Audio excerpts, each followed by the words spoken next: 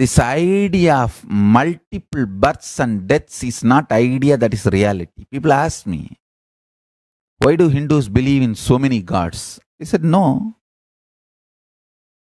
We don't believe, we just know so many gods exist. People ask me, do you believe in rebirth? I said, hey, I don't believe, I just know that rebirth exists. When you know the realities of multiple gods and goddesses, multiple births and deaths, various states of consciousness, you become so rich. You make very matured decisions in your life. Understand, I tell you, I have seen people who don't have penny but make very mature decisions about life because they have a right knowledge. Same way I have seen billionaires make stupid decisions about life because they do not have right cognitions about life. Knowing multiple births and deaths, knowing the vertical time zone, knowing truths of multiple gods and goddesses gives you the strength and energy to make mature decisions. For me, Ganesha actually exists. He actually exists. In Kailasa, he is there. Right now, he is right now listening that I am declaring to planet Earth that he is there.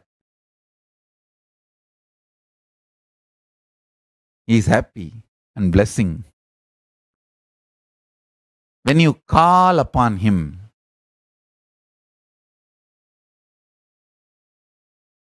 I'll give you the password. Om Gam Ganapataye Namaha. Just repeat this and call upon him. He really listens and responds.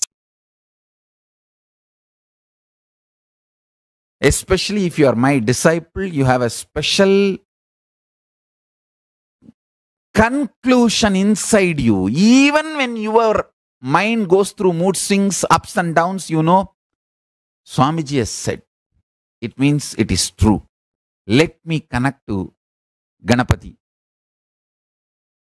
Because Swamiji said, I know it is truth.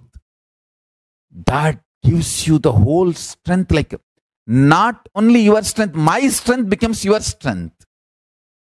That is the power of integrity to Guru. Understand?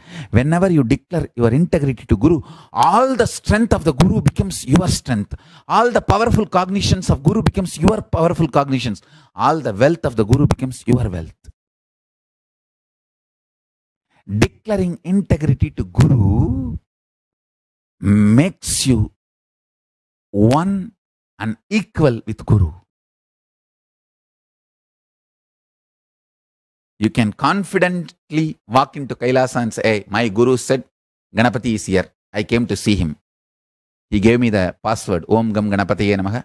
Please inform Ganapati that I have come to see him, want to have his darshan. My Guru told he exists. My Guru has seen. I tell you, really he exists. And he responds.